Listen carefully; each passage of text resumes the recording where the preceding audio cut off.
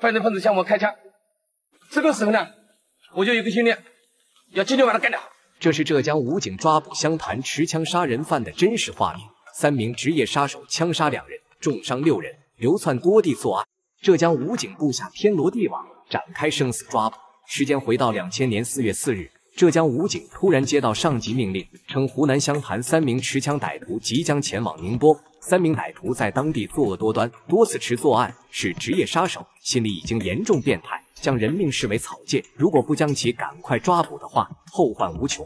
这次能够提前知道他们的行踪，湖南警方也是付出了极大的代价，所以浙江警方一定要提前布控，将其一网打尽。听到这个消息，浙江武警总队第一时间内来到车站布控，不为别的，只因这个犯罪团伙不仅随身带的有枪，身上带的可能还有炸弹，所以一不得不慎重。浙江武警、铁路班警、公安干警都在第一时间赶到了规定地点，严阵以待，时刻准备着冲锋。但奇怪的是，车辆早已到站。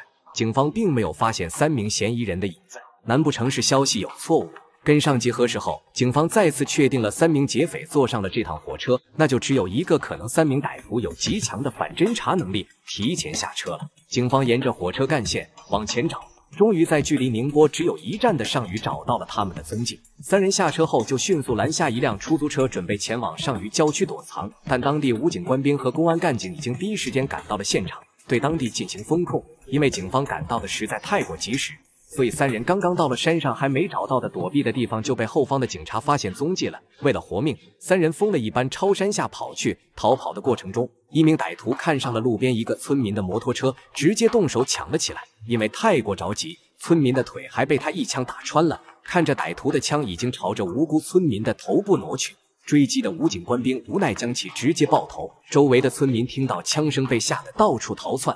警方分出一部分人先将群众疏散，保证群众的安全后，才继续抓捕。抓住这个空档，另一名歹徒飞快地朝另一个方向跑去，情况紧急。警方第一时间朝着他的腿部开枪，出于对生的渴求，即使腿部中枪，这名劫匪依旧跑到了附近的已经废弃的民房内。这个废弃的民房位置非常的巧妙，房子后面就是湍急的河流，河流后面就是大山。如果警方强攻的话，吃力不说，歹徒轻松就能够逃脱。为此，警方只能计划逐步计划。而另一名歹徒这时已经消失的无影无踪了，事情变得非常棘手。这是浙江武警抓捕湖南持枪歹徒的真实画面。专业杀手的他们杀人无数，即使面对警察也毫不惧怕。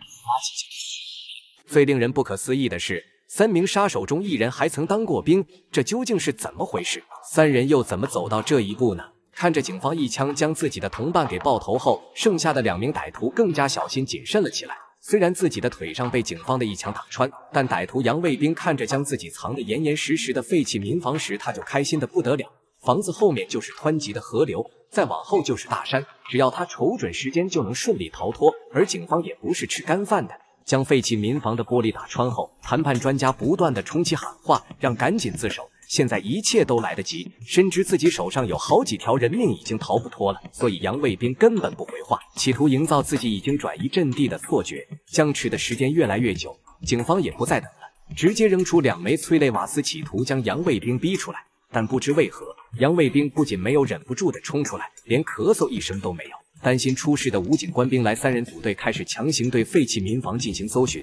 几名武警小心的在一楼和二楼的进行搜寻，以为屋内有投放过催泪瓦斯的缘故，所以视线受损严重。但还不等警方看见杨卫兵的身影，他竟然自己忍不住了，蹲在三楼的他对准警方就是一枪。幸亏我们的战士反应迅速，没有被击中，而杨卫兵也因为自己的行为暴露了位置。双方展开了激烈的火拼。虽然一开始是准备留杨卫兵一命对他进行审问，但情况紧急，担心迟则生变，警方干脆直接将杨卫兵击毙了。这下就只剩最后一名歹徒肖林明了。他非常的小心谨慎，三人提前下车的主意就是他出的。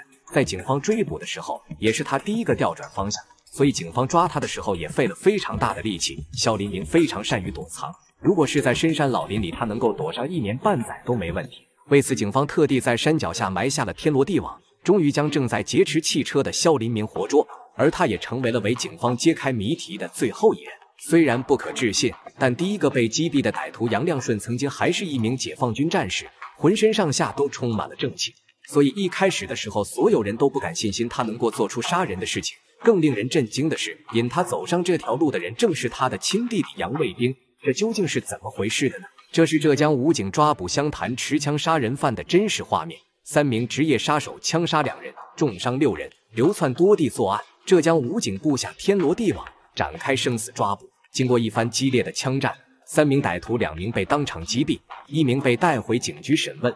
在这个三人团伙中，起到主导地位是一对亲兄弟。哥哥杨良顺从小性格憨厚，非常的懂事。因为父母都是工人，工作比忙碌，所以比他小六岁的弟弟杨卫兵就是他带大的。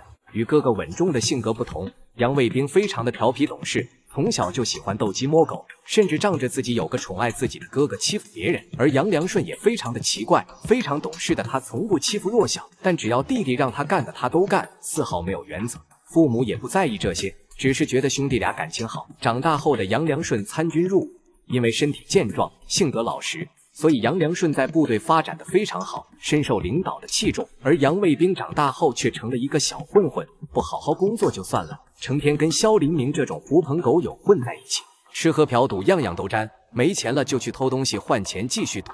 知道弟弟的行为之后，杨良顺马上就退伍了。在他的心里，长兄如父，父亲已经不在了。自己作为哥哥就有责任教导弟弟，他准备回家好好带弟弟走正路。谁知道杨卫兵不这样认为，他觉得哥哥就是太死板了，所以明面上非常听话，私底下该干啥干啥，甚至觉得哥哥的劝说太烦了。就设计让哥哥也沾上了毒瘾，很快就将自己积蓄赌完的杨良顺也在杨卫兵的带领下开始偷厂里的东西换钱。但这终究不是长久之计，杨卫兵干脆成了专职打手，专门帮那些大老板做一些不好出面的事情。每次完事之后都会收到丰厚的报酬。杨良顺虽然不赞成这样的事情，但他也不能看着别人欺负自己的弟弟啊。慢慢的，兄弟来都成了专职打手。当郭兵的杨良顺攻击力可不是一般人能比的，兄弟来很快就成了当地的一霸，而肖林明也跟着兄弟俩吃香喝辣。他们第一次杀人原因仅仅是因为看上了对方的新款摩托车，对方不愿意给，兄弟俩就将对方给杀了。可能是觉得动手的时候不威风，杨卫兵特地买了好几把枪给他们防身。几人有枪之后更加的猖狂，只要能杀人就不打人，简直就是恶魔。而且因为杨良顺有当兵的经历，所以他们有非常强反侦查能力。次次都能逃脱，这次如果不是这次是在外地作案，警方说不定根本抓不到他们。不知道杨良顺临死前有没有后悔自己一味的纵容弟弟，也不知道杨卫兵有没有后悔将哥哥拉下水。